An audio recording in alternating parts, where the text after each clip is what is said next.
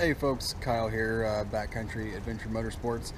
And you know, I haven't done really any videos yet of me and my bike. I've been done a lot of Instagram posts and and some and Facebook posts, stuff like that, but I haven't done any videos yet of my bike. And I, I, I want to get into that because um, ultimately this is kind of where I want to be with this, this, this thing. So um, for those of you who know, I drive a Honda 2016 Honda Africa Twin and it's the manual version not the DTC so far I'm I'm loving it.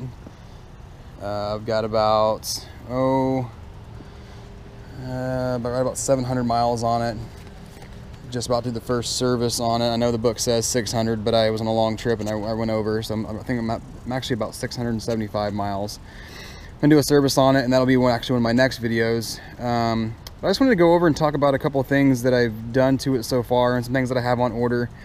Um, ultimately, I haven't done too much except you notice that I got some different tires on it, the stock tires. They were a little more street than what I wanted.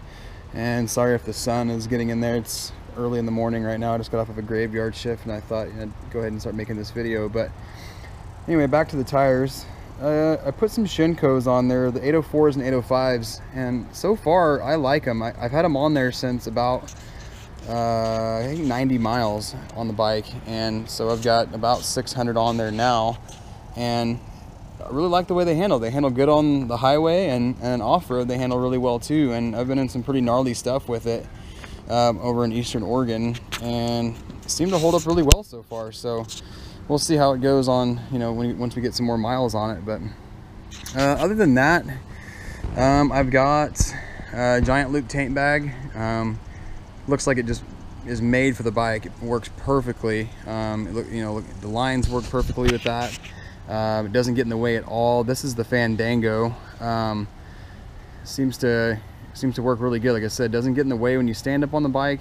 Um, um and it's just it's just an all-around awesome awesome piece good thing to add. Um, it's completely waterproof comes with waterproof tank bag or a bag on the inside that and this flap here is adjustable.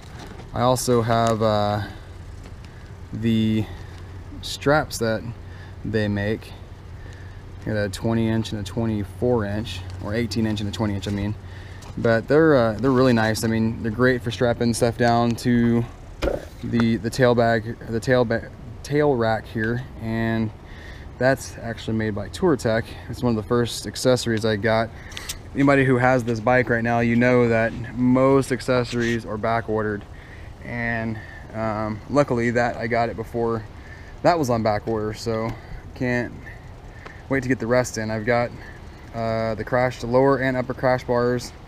Those are supposedly supposed to ship next week and I also got the um, the pannier racks on it on its way. They should hopefully be here by the first of the month. Um, yeah so oh yeah and my panniers that I went with are also giant loop and these are really cool. They are the round the world panniers. They are supposed to go on to the racks that I have on order. Obviously these will sit differently but yeah uh, so these are supposed to sit about oh, about there. So, and what's nice about these is you get 90 liters here and uh, again, fully waterproof. And I mean, these, these things are just massive. They go on to the Touratech racks or any other uh, rack and you have your water, fully waterproof bag on the inside. Again, these are waterproof as well. They're just kind of a double layer so you can take them in and out you know, when you're going into the campground or going into the hotel or whatever you may be, but just super nice. And uh, you can store, you know, like a water gallon of water here or even a fuel bottle. Um, same thing with the back. Another waterproof pouch here. They can go, you, you can put just, you know, tool bags or anything there. And then there's even a pocket here for when it comes together that you can put in you know, maps or just easy to grab stuff, um, shoes, whatever you wanted to grab, make, make easy to grab. But yeah, I mean, that's just a real quick thing on those. I'll do another video on those once I get my racks in. But uh, super excited about all that stuff. Um, you know, I'm just really antsy waiting to get that stuff in.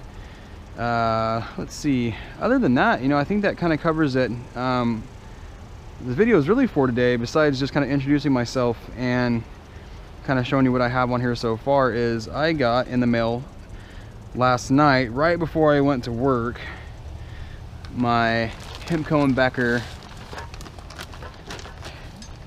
handguard racks. Now, these things just look gnarly. And from the pictures when I ordered them, I didn't realize they were so so beefy. And I didn't. I thought maybe they just kind of went onto the bar end and then went in to the handlebar. But they actually mount to the triple tree, which is crazy. I mean, that's going to support the bar and everything. Um, but I'm going to mount these up, and if you guys can bear with me, we'll do it together and show you how. It looks like it's pretty simple. So let me get my stuff together, and we'll get it going. All right, so get everything together, get my tank bag removed. You know, I remembered another thing that I wanted to talk about was uh, the Honda center stand there. Um, man, I got that in the mail last week, and I thought that was going to be kind of a encompassing install, but you know, it took like five minutes. It's really, really easy. There was, uh, um, not, I mean, really necessarily tools that were even really required. Um, it's got some little mounting brackets underneath that it just slides into and um, you know it's got the spring there. And you can see this little circlip here. It just goes up and over and then you put the clip on and then these springs and that connects to right here. I mean the, the springs were a little bit of a bugger getting on but I used a ratchet strap actually because I don't have the spring tool. Um, of all the tools I have I don't have a spring tool. But other than that I mean it, it went on literally within about five minutes and it really makes the bike stable when it's on stand I mean I can just shake it I can stand on it, it doesn't move at all and it's gonna make good for um, tire changes. My very first day that I had these new tires on I I went up in the woods riding and I picked up like a hundred year old nail. In the middle of the woods I, this this nail got in my tire and I got I got a flat. So uh, that kind of ruined my trip because I know I didn't even, you know, like the dork that I am, I didn't even have a toolkit with me. I was expecting just to go out and ride for a few hours, then come back and didn't, didn't really expect to have any issues on a brand new bike. And plus I was just too excited and didn't really pack like I normally do. But anyway, so I, I got that all fixed and everything, but this should help prevent for any uh, future issues. Well, hey, let's get started on um, these, these uh, handguard bars here. Um, I'm gonna go ahead and remove these little covers and I'm just gonna do that with a little screwdriver. I had that one off already so it was fairly easy.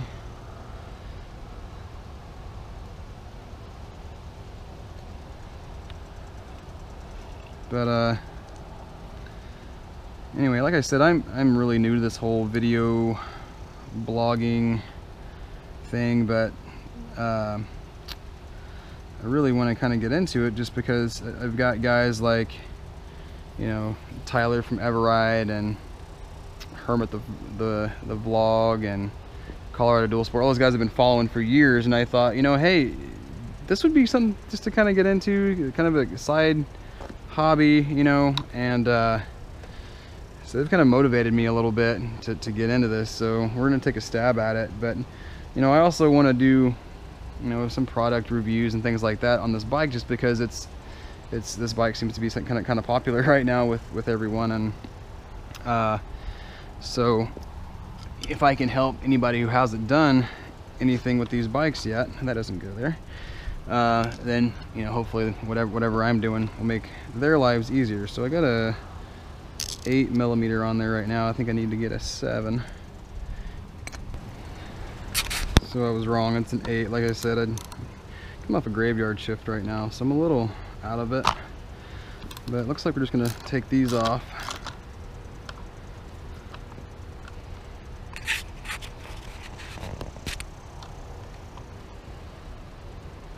Anyway, as I was saying, those, uh, I'd like to call them stars. I've been doing this video blogging stuff a lot in the adventure bike world you know, I watch those guys quite a bit and I feel like hey, if they can do it, maybe I can halfway do it and and produce some kind of video that can help somebody else.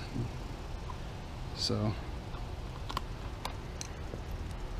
because you know, when it comes to this this bike, at least there isn't a whole lot of whole lot out there for it. You know, it's it's a new it's a new bike, so looks like there's a little bit of a clip there.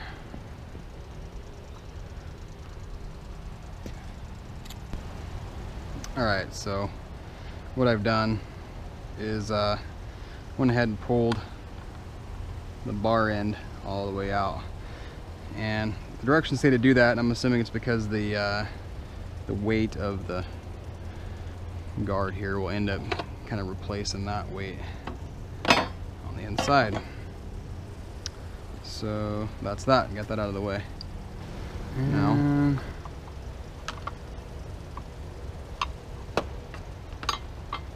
it's gonna be something about like that. So I'll go ahead and I'll remove the two bolts here. And those are six, number six.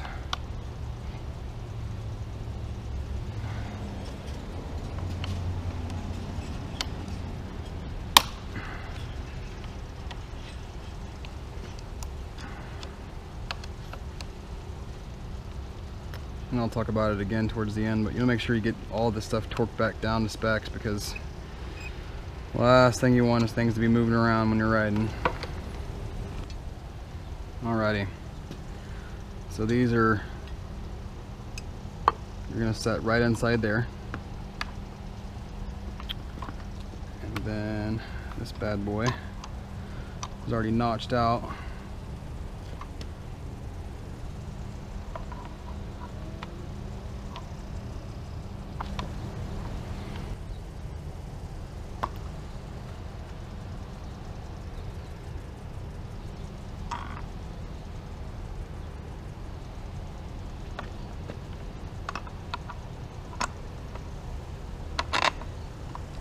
and that's going to thread right into the end there.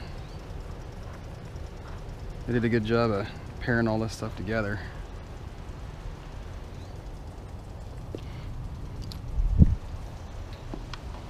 Just gonna get it somewhat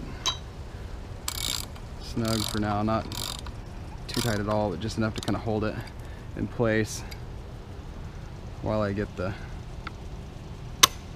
others in, in there.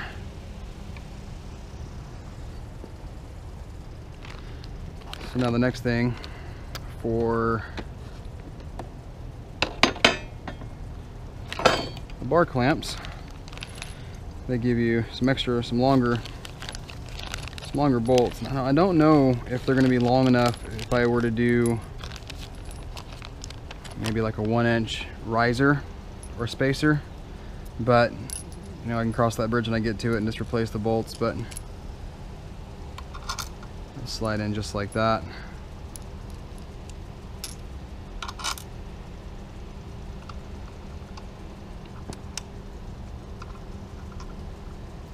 And that gives a real nice clean look I think when it's all said and done. And these are fives.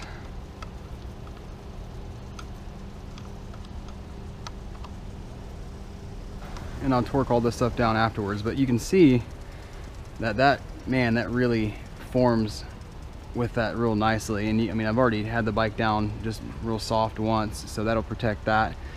And uh, yeah man I mean that, that's gonna be some beefy protection. What I like about it too is since it bolts here and here it almost it almost um, creates this like triangular effect where it's gonna even though even though these bars are beefy and massive as they are, I think it's even going to support the bars even more. So um, should protect it even more when it when, if you do lay the bike down. I mean, hey, you know it's gonna happen. I don't care how good a rider you are, the bike is gonna go down. So um, you know this way at least at least just prepared for a little bit better. But um, yeah, so just repeat the same thing on the other side, and that's that. Um, thanks for hanging with me through it, and it's probably kind of brutal and hard to watch but um, you know thanks for you know hanging out with me and, and, and, getting this done Um, more videos to come. Like I said, I got the Touratech lower and upper crash bars on the way along with the um, tail racks and or luggage racks. So um, stay tuned. I'll be posting more. Out.